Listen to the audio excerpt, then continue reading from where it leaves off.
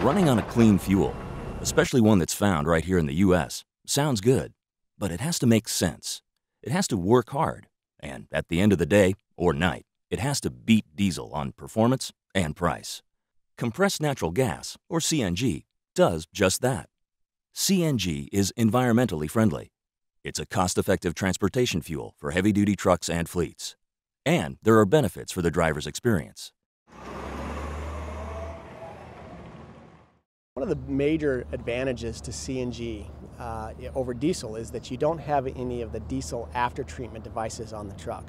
If you talk to uh, trucking fleets over the last couple of years, uh, everything that we've had to add to the trucks to meet the EPA standards has really made them um, kind of finicky. And if you talk to them, 90% of the problems that they're having with their diesel trucks right now has to do with that after treatment device. With CNG, you don't have any of that. It comes out of the exhaust cleaner than diesel does anyway, about 30% cleaner. So all of that goes away and you don't have any of those issues. So the truck's much simpler.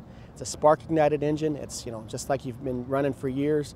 Uh, and the technology really is very easy to work on, easy to maintain. It's cheaper to maintain. So from that perspective, our customers are loving it. All that headache just goes away.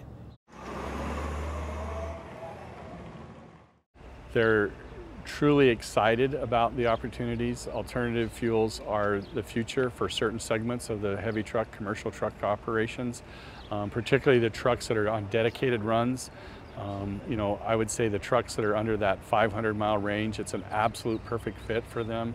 Um, they are excited about the opportunities, the low cost of the fuel, the low cost of the maintenance programs, the trucks run cleaner, greener, they're, they're easier to drive, they're easier to maintain, um, they're very excited. Some of the early pioneers that have got in, gotten into it have seen the benefits of alternative fuel vehicles and now are on their second and third wave of purchasing um, trucks, which tells you that it's here to stay and it's gonna, it's gonna be the future.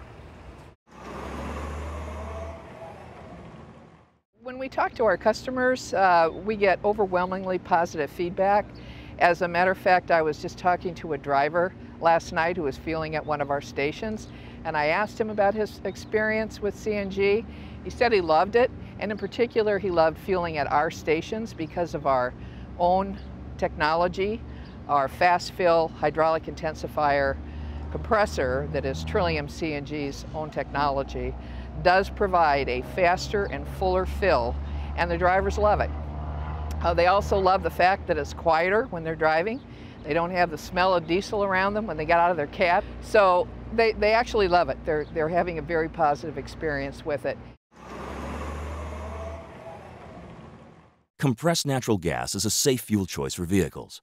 It's non-toxic, non-corrosive, and lighter than air, so it dissipates.